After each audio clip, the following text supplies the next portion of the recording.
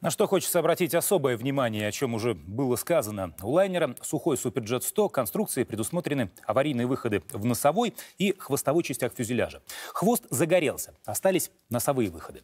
Ну, вот, собственно, схема салона того самого самолета. Тут есть интересная, но не уникальная особенность. Справа по ходу движения в экономическом классе установлены три пассажирских кресла, слева два. Проход между ними всего 51 сантиметр.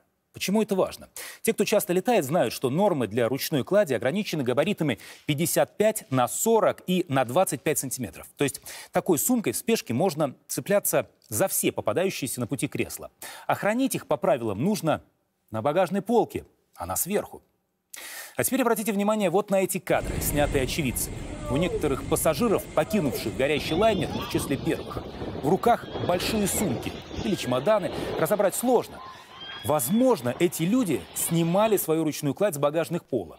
И это могло, возможно, повлиять на скорость эвакуации, когда каждая секунда на счету. И еще одно наблюдение. Вот кадры эвакуации по надувным трапам. Несложно заметить, что иногда люди выпрыгивают один за другим без перерыва, а иногда промежуток между ними достигает нескольких секунд. Что это? Простое замешательство, кому-то стоившее жизни, или, опять же, багаж с полки? Сообщается, что эвакуация шла 55 секунд. Спаслись при этом 37 человек. 9 из них в больницах, состояние многих тяжелое. Павел Краснов продолжит тему.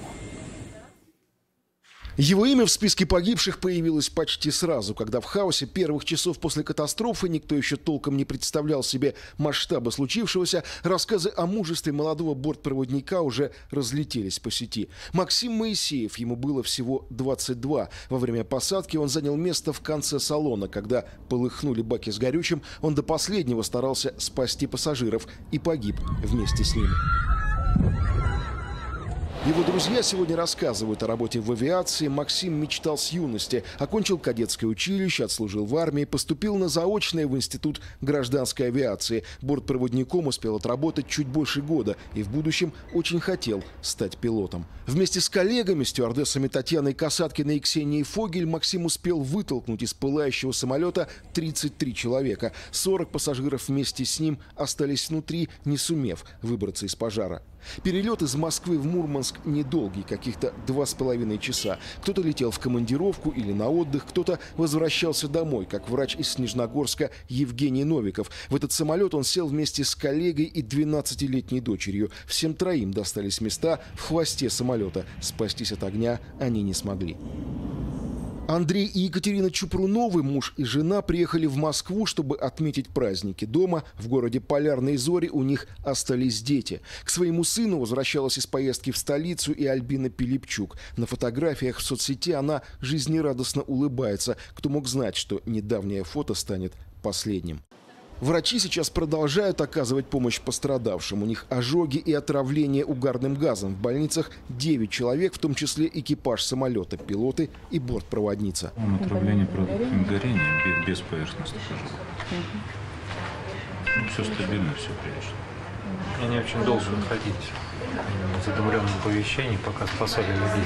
Трое пострадавших в тяжелом состоянии, но сейчас им и их близким нужна не только медицинская помощь. И в институте Вишневского, и э, в институте Склифосовского работают очень опытные психологи и психиатры. Нужна помощь психологическая не только пациентам, но и их близким. Для всех для них это состояние шока. Они не могут еще осознать, что произошло. Все еще не могут прийти в себя и многие из тех, кому удалось выбраться из объятого пламенем самолета. Игрок мурманской команды «Что, где, когда» Михаил Савченко разместил на своей странице эмоциональное сообщение. Это мой самолет, сухой суперджет, рейс Москва-Мурманск, экстренная посадка, горящая турбина. Второй день рождения буду праздновать. Огромные соболезнования семьям погибших и пострадавших. Родственники погибших пассажиров уже прилетели в Москву. Им тоже нужна психологическая поддержка. Скоро начнется процедура опознания. О намерении выплатить компенсации тем, кто потерял близких, объявили и в Мурманске, и в Москве. Кроме того, помощь окажут и власти Подмосковья. Что касается компенсации, то всем погибшим они будут выплачены и жителям Подмосковья, и всем, кто не проживает э, в нашей территории. Это 2,1 миллион соответственно. Понятно, что деньги здесь имеют весьма не имеет никакого, по большому счету, значения, но такие решения принимаются для того, чтобы оказать а, поддержку родным и близким. В память о погибших люди несут цветы и зажигают свечи. Стихийные мемориалы появились и в Шереметьеве, и в Мурманске. В связи с трагедией в Мурманской области объявлен трехдневный траур. Павел Краснов, Татьяна Бакулина, Екатерина Овсянникова, Сергей Нащекин. Первый канал.